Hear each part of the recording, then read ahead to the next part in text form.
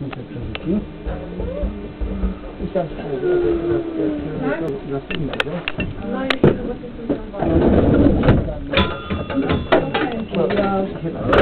No i